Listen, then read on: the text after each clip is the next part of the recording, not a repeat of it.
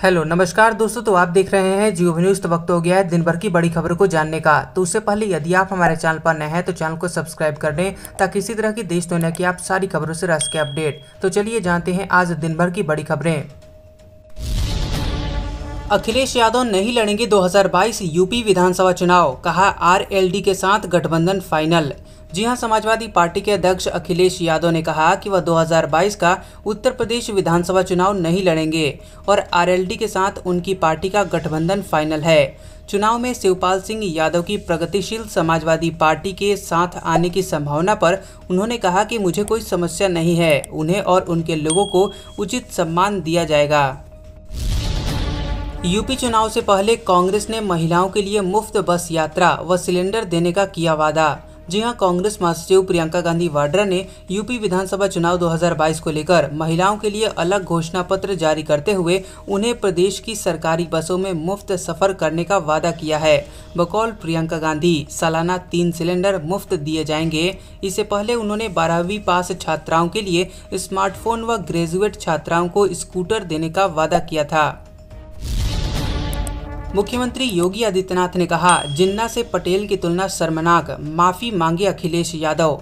जी हाँ, यूपी के मुख्यमंत्री योगी आदित्यनाथ ने सपा के राष्ट्रीय अध्यक्ष अखिलेश यादव की मोहम्मद अली जिन्ना की तुलना महात्मा गांधी, जवाहरलाल नेहरू और सरदार पटेल से करने की आलोचना की है। उन्होंने कहा कि अखिलेश को अपनी टिप्पणी के लिए माफ़ी मांगनी चाहिए, जिसमें उन्होंने जिन्ना को भारत की आज़ादी के लिए लड़ने वाले के रूप में बताया था।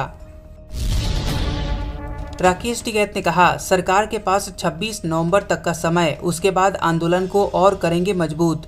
जी हाँ, बीकेयू नेता राकेश टिकैत ने कहा कि केंद्र सरकार के पास 26 नवंबर तक का समय है। 27 नवंबर से किसान गाँवों से, ट्रैक्टरों से दिल्ली के चारों तरफ़ बॉर्डर पर पहुँचेंगे। उन्होंने कहा कि पक्की किलेबंदी के साथ आंदोलन को और मज़बूत करेंगे और आंदोलन स्थल पर तंबुओं को भी मज़बूत करेंगे।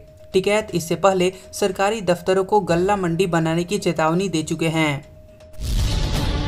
ऑस्ट्रेलिया ने भारत बायोटेक के कोवैक्सीन को दी मान्यता। जी हाँ, भारत के स्वदेशी कोविड 19 वैक्सीन कार्यक्रम को बढ़ावा देने के लिए ऑस्ट्रेलिया ने भारत बायोटेक के वैक्सीन, कोवैक्सीन को मान्यता दी है। कोवैक्सीन को ऑस्ट्रेलिया की हरी झंडी ऐसे समय में मिली है जब डब्ल्यूएचओ ने कोवैक्सीन के लिए बहुप्रतीक्षित आपातकालीन उपयोग सूची पर निर्णय लेने के लिए अतिरिक्त डेटा की मांग की है। केंद्र की ओर से मुफ़्त में दिए जा रहे ई श्रम कार्ड के लिए महिला को देने पड़े सौ रुपए।